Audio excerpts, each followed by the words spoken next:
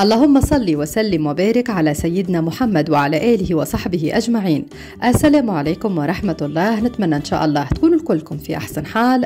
رجعت لكم اليوم في فيديو جديد. اليوم إن شاء الله باش نحضروا مع بعضنا وصفة بنينة برشا نحبوها كبار وصغار وطلبتوها مني بكثرة. وصفتنا لليوم هي ال petits fours اليوم باش نحضروا petits fours كيما اللي يتباع في المحلات. الوصفة هذه احترافية وفي نفس الوقت وصفة اقتصادية. باش نحضروا ال petits fours متاعنا بالمارغرين يجي بنين برشا يذوب في الفم. هذا هو الشكل متاعو كيفاش يكون يكون هشوش. وقد ما لكم بنين ما نجمش نوصف لكم. إن شاء الله تجربوا الوصفة هذه وتتمتعوا بها. ممكن زيادة تبيعوا ال petits fours هذيا راهو أبن حتى من اللي تباع في المحلات. الوصفة سهلة ماهيش صعيبة لكن فيها أسرار باش تنجح معاكم. حاولوا تبعوا الفيديو من الأول حتى للآخر باش ما تضيعوا حتى نصيحة. إذا كان عندكم أي ملاحظة ولا تساؤل ممكن تتواصلوا معي على groupe فيسبوك القناة Cuisine باينال وممكن تتابعوني على صفحتي في الإنستغرام وصفحتي في الفيسبوك Cuisine إينال وتوا نتعداو باش نشوفوا مع بعضنا مكونات الوصفة متاعنا وطريقة التحضير. وتوا باش نبداو بسم الله لهنا باش نخدموا الوصفة متاعنا وفي نفس الوقت باش نقولكم على المكونات. عندي لهنا 250 غرام من المارغرين لازم تستعملوا مارغرين نوعية جيدة. إذا كان أنتم في تونس اخدموا بالجولدينا وإلا الجديدة. بالنسبة للناس اللي تبعوا فيا موجودين في إيطاليا أنا نخدم ديما بالنوعية هذيا. تلقاوها موجودة في أوروسبين السعر متاعها مش غالي وتعطيكم نتيجة باهية في الحلويات متاعكم. ممكن تستعملوها في السابلي في الجوزة في برشا وصفات. المارغرين لازم تكون بحرارة الغرفة بالشكل هذايا ما تكونش جامدة من الثلاجة وما تكونش ذايبة. لازم تخرجوها قبل بوقت خليوها في المطبخ تكون بالشكل هذايا عندنا 250 جرام من المارغرين. باش نستعملوا معاهم 120 جرام السكر المحور اللي هو sucre glace وتوا في صندوق الوصف نخلي لكم المقادير متاع كيلو جرام والمقادير متاع كل 100 جرام شنو تستعملوا عليها. المكونات الاثنين هذوما توا المارجرين والسكر باش نحطهم في الصحفة متاع الركاض ونبداو نخلطوهم مع بعضهم في مرحلة أولى.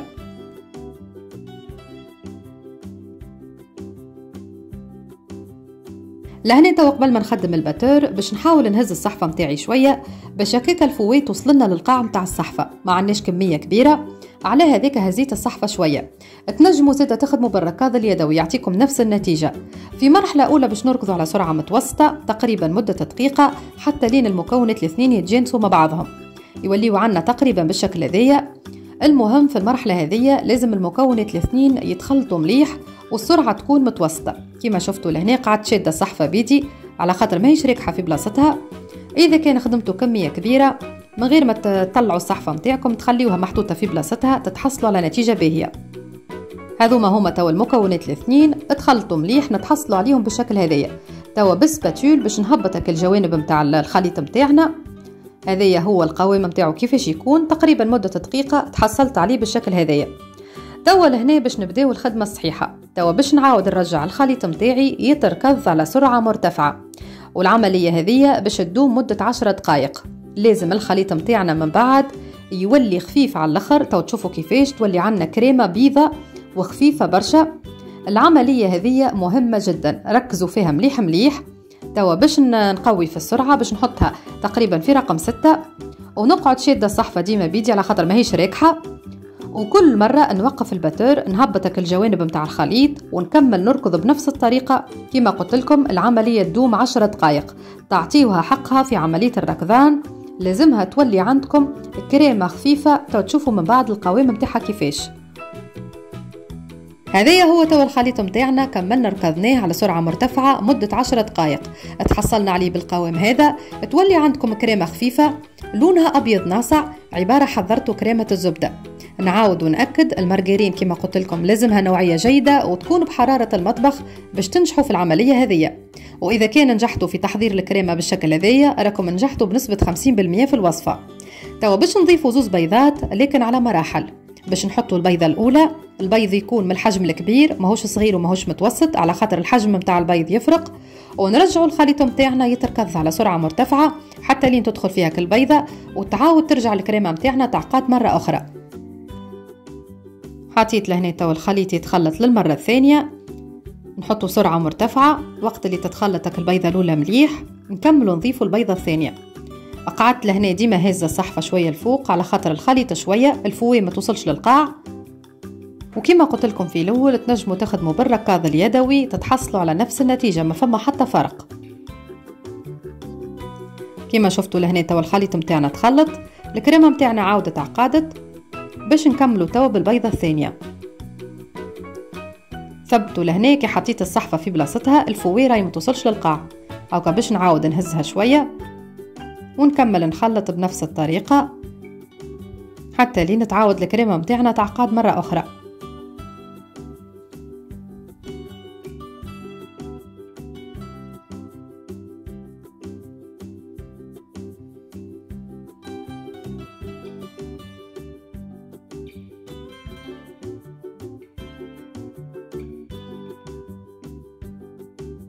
هذايا هو توا الخليط متاعنا بعد ما دخلنا فيه كمية البيض. توا لهنا باش نضيف شوية من روح الفانيليا. نجموا تستعملوا أي نوعية متوفرة عندكم سواء البودر وإلا السائلة بالشكل هذايا. ونرجعوا الخليط متاعنا يتخلط على سرعة مرتفعة باش المكونات الكل يتجانسوا مليح.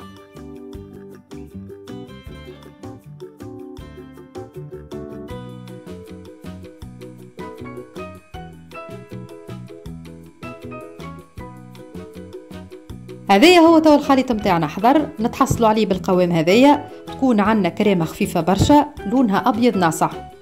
توا باش نضيفوا آخر مكون اللي هو الفرينة. باش نستعملوا 400 غرام لازمها تكون فرينة نوعية جيدة وتكون مغربلة. لكن باش نضيفوها على مراحل وثبتوا في العملية هذيا. على خاطر مهمه جدا في نجاح الوصفة كيفاش نخلطوا الفرينة. استعملت لهنا سباتول. نخلطوا بشوية بشوية. المقطع هذايا خليته يمشي عادي باش تشوفوا سرعة التخليط. ما نزربوش وما ننزلوش. لازم تخلطوا بشوية بشوية بكل خفة. الخليط متاعكم لازم يقعد خفيف. حاولوا ما تنزلوش في العملية هذية وقت اللي تتخلط كمية الفرينة اللي حطيتوها تضيفوا كمية أخرى حتى لين تخلطوا الكمية كاملة. ما تستعملوش ال batteur في العملية هذية ما تستعملوش ال fouet وإلا الركاض الكهربائي. فقط لهنا ب spatule تخلطوا بشوية بشوية. العملية هذه مهمة جدا. باش يجيكم ال petit four متاعكم مهشوش وخفيف لازم تدخلوا الفرينة بشوية بشوية. باش الخليط متاعنا يقعد خفيف حاولوا ما تنزلوش. إذا كان تخلطوا بالزربة ولا تنزلوا ولا تستعملوا ال batteur راو ال petit four متاعكم يجيكم ملبد وما يجيش ناجح. توا العملية واضحة باش نكمل بنفس الطريقة. حتى لين ندخل كمية الفرينة الكل.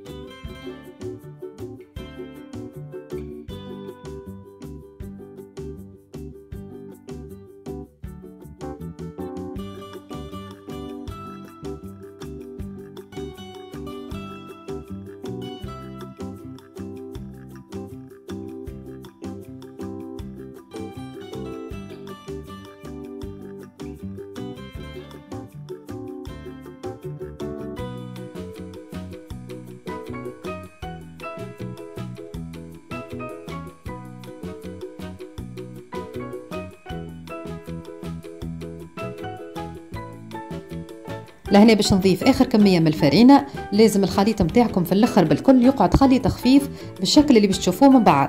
حاولت نخلي لكم المقطع هذايا كيما هو باش تفهموا العملية مليح.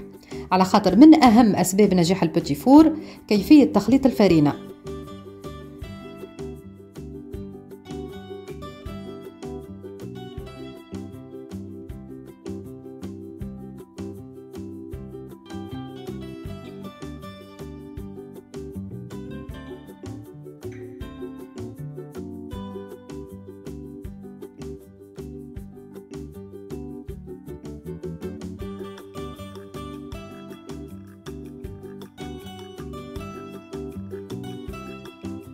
هذايا هو تو الخليط متاعنا حضر نتحصلوا عليه بالقوام هذايا يكون خفيف دوب ليش ما تدخلوا فيه الفرينة توقفوا على عملية التخليط.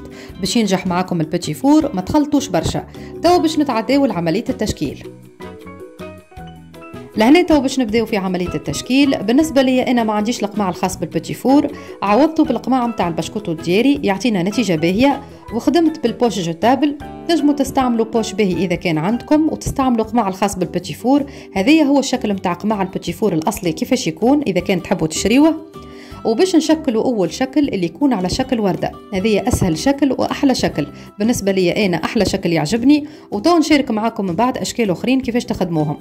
توا باش نقرب لكم باش تشوفوا العملية بوضوح كيفاش تكون. ايديكم ديما تكون مستوية قد قد وتعصروا العجينة متاعكم. على حسب الحجم متاع الكعبة كيفاش تحبوه كبير ولا صغير الكمية اللي تهبطوها هذيك هي اللي تعطيكم الحجم متاع الكعبة وتحاولوا تستوي لها راسها من الفوق. سهلة العملية والصورة شارحة نفسها.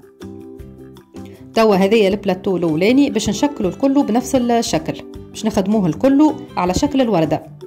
ومن بعد نشارك معاكم أشكال أخرين. هذايا هو توا البلاتو الأول كملنا شكلناه باش ندخلو نطيبوه. الفرن متاعنا نسخنوه قبل بوقت نار تشعل من لوطه فقط على 200 درجة. وقت اللي تدخلوا البلاتو متاعكم تحطوه في الوسط. النار من فوق ما تشعلوهاش على خاطر تفسد لكم الشكل متاع ال petit four. وتنقصوا شوية في النار دوبا ما تدخلوا البلاتو على 180 درجة. تخليو الكعيبات متاعكم يطيبوا كيف تشوفوهم خذاوك اللون الذهبي من اللوطه تشعلوا عليهم من الفوق يكملوا طياب عينكم ميزانكم على حسب نوعية الفرن ماذا بيكم تخليوهم بيض باش يجيو مزيانين. لهنا تو باش نشارك معاكم زوز أشكال أخرين. الشكل الثاني هو اللي يكون طولي.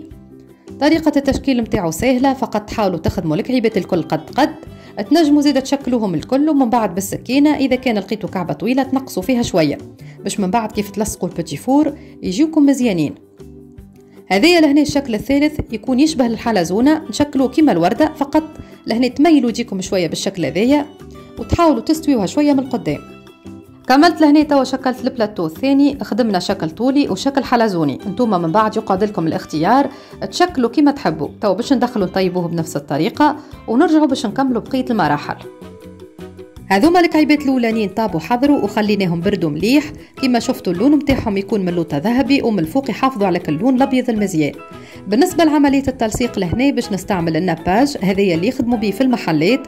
الطريقة الاحترافية والاقتصادية تنجموا زاده تخدموا بالمربى متاع المشماش والا تطيبوا حتى عسل وحدكم تلصقوا به. يقعد لكم الاختيار.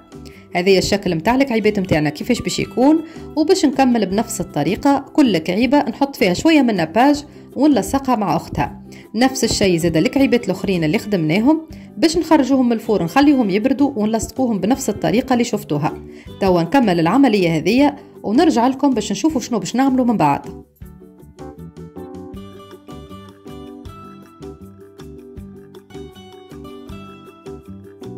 هذوما هما توا الكعيبات متاعنا. كملنا لصقناهم نتحصلوا عليهم بالشكل هذايا. في آخر مرحلة باش نزينوهم بكمية من الشوكولاتة. خذيت 100 غرام من ال pâte à glace ضفت عليها ملعقة متاع أكل من الزيت النباتي وذوبتهم في ال micro-ondes. ماذا بيكم؟ كل 20 ثانية تحلوا الباب تحركوا الشوكولاتة متاعكم وتعاودوا ترجعوا تسخنوها باش ما تتحرقش. وتنجموا زاده تعملوا العملية هذيا في حمام مائي هذايا الشكل الحلزوني نغطسوه بالشكل هذايا وتحاولوا تستقطروا الكعيبة متاعكم مليح. وتحطوها على جنب. سهلة العملية ما فيها شيء وتنجموا زيدا بعد ما تغطسوها في الشوكولاتة تغطسوها في نوات كوكو.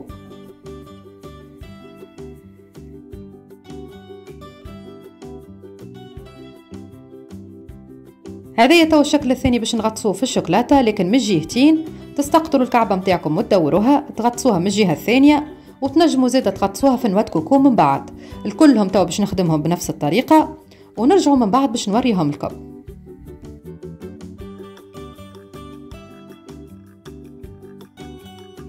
كملنا زينا الكعيبات متاعنا كمية الشوكولاتة اللي قعدت لي حطيتها في ال poche هذيا وباش نكملوا بها عملية الزينة. باش نعملوا خطوط بالطول وباش نرجعوا خطوط بالعرض. نتحصلوا عليهم بشكل مزيان كيما ال petit four اللي يبيعوا فيه في المحلات.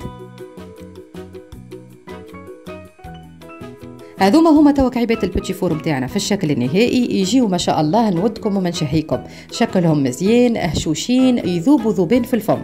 كيما شفتوا الطريقة سهلة. المكونات بسيطة إذا كان باش تجربوا الوصفة هذه أول مرة حاولوا أعملوا كمية قليلة. يكفي أنكم تجربوا ب 250 جرام من المارغرين. تو نخلي لكم المكونات الكل والمقادير مكتوبين في صندوق الوصف. إذا كان فما حاجة ما فهمتوهاش ولا صعبة عليكم ممكن تتواصلوا معايا على groupe Facebook القناة Cuisine by Inel لهنا باش نقسم لكم كعيبة باش تشوفوا الشكل متاع ال petit four متاعنا كيفاش يكون من الداخل. إن شاء الله الفيديو هذا يفيدكم وقدم لكم الإضافة. نتقابلوا إن شاء الله في وصفات أخرين وفي فيديوهات أخرين وآخر حاجة نقول الحمد لله الذي أطعمنا وسقانا وكفانا وأوانا.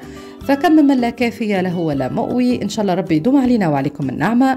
ونقول لكم السلام عليكم ورحمة الله وبركاته.